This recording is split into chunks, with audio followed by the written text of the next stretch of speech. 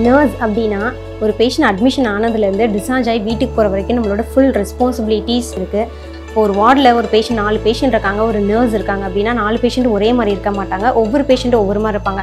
ஒரு patient pain சொல்லுவாங்க ஒரு பேஷண்ட் ஸ்ட்ரெஸ் சொல்லுவாங்க ஒரு பேஷண்ட் ஆன்சைட்டி சொல்லுவாங்க. ஒவ்வொரு பேஷண்ட்டும் வந்து டிஃப்ரெண்ட் பேஷண்ட்டாக இருப்பாங்க. ஏன்னா அவங்களோட பெயினில் வந்து படுத்திருக்காங்க. அவங்க ஏதோ ஒரு வேதனையில் வந்து அவங்க படுத்திருக்காங்க.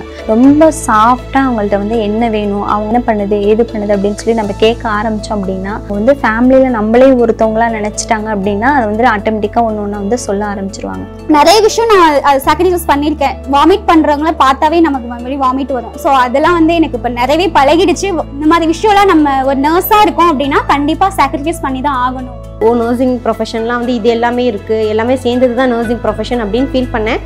அண்ட் தென் அதுக்கப்புறம் அது வந்து போக போக வந்து நம்ம ரியலைஸ் பண்ணோம். மேபி இந்த சுச்சுவேஷனில் வந்து எங்கள் அப்பா இருந்தால் என்ன பண்ணுறது இல்லை நம்ம ரிலேட்டிவ்ஸ் பிரதர் சிஸ்டர்ஸ் இந்த மாதிரி இருந்தால் என்ன பண்ணுறது அப்படிங்கிறப்போ வந்து நம்ம மைண்ட் மாறிடுச்சு. எழுந்திருக்கும் போதே பார்த்தீங்கன்னா ஒரே பரபரப்போட தான் எந்திரிப்பேனே. கடகடகடன்னு எல்லாத்துக்கும் டீ போடணும். டீ போட்டு எடுத்து வச்சு எடுத்து பாப்பாவுக்கு பால் இதெல்லாம் ஆற்றி கொடுத்துட்டு காலையிலே இருந்து சமைச்சு வச்சிடணும்.